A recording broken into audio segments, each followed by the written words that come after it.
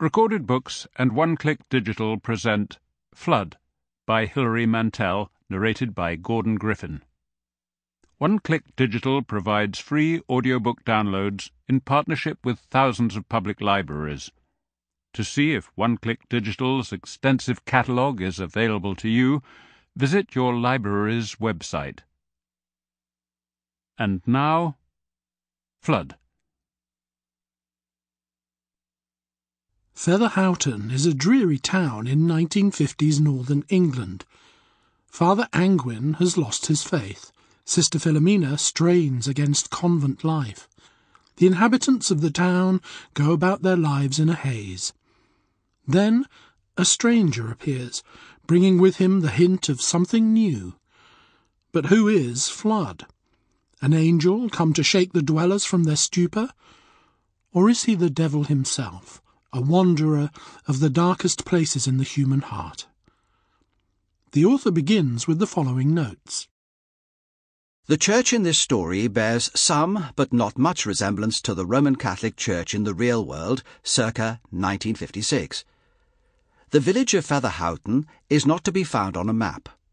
The real Fludd, 1574 to 1637, was a physician, scholar, and alchemist. In alchemy, Everything has a literal and factual description, and in addition, a description that is symbolic and fantastical. You are familiar, no doubt, with Sebastiano del Piombo's huge painting, The Raising of Lazarus, which hangs in the National Gallery in London, having been purchased in the last century from the Angerstein collection. Against a background of water, arched bridges, and a hot blue sky, a crowd of people, presumably the neighbours, cluster about the risen man. Lazarus has turned rather yellow in death, but he is a muscular, well set up type. His grave clothes are draped like a towel over his head, and people lean towards him solicitously and seem to confer. What he most resembles is a boxer in his corner.